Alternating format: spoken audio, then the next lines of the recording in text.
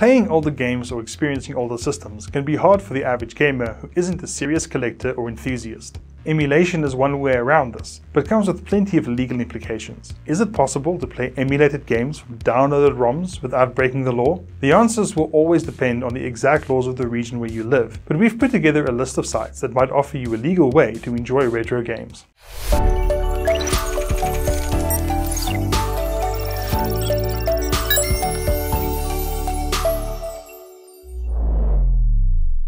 Get some homebrew titles.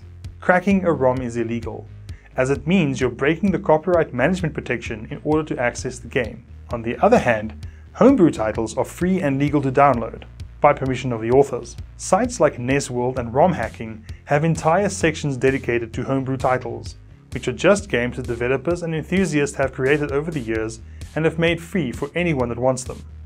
This is a great way to find unofficial titles that few other people have played.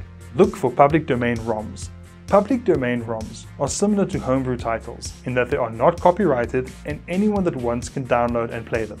PD-ROMs is one of the largest public domain sites on the web, with thousands of ROMs for dozens of consoles. You can find titles for everything from the 3DO to the Watara Supervision here. Look for abandonware. Abandonware is a grey area in terms of legality. While technically still under copyright, abandonware is defined as content that is no longer distributed or supported by the original creator. In many cases, the creator has gone out of business, so the rights are in limbo. When this happens, it is often classified as abandonware and thought of as free for the taking. However, abandonware can still fall under copyright, which makes downloading a ROM of it illegal. Despite this, many people see abandonware as fair use, as an out-of-business developer isn't likely to pursue a lawsuit over copyright infringement. It's possible that someone might file a DMCA takedown or pursue legal action, but it's also very unlikely. Pursue abandonware at your own risk. Backup games you already own. If abandonware is a grey area, then downloading ROMs of games you already own is a light grey area. Under US copyright law at least, you have the right to backup and archive software you have already purchased. Obviously this will differ from one country to the next.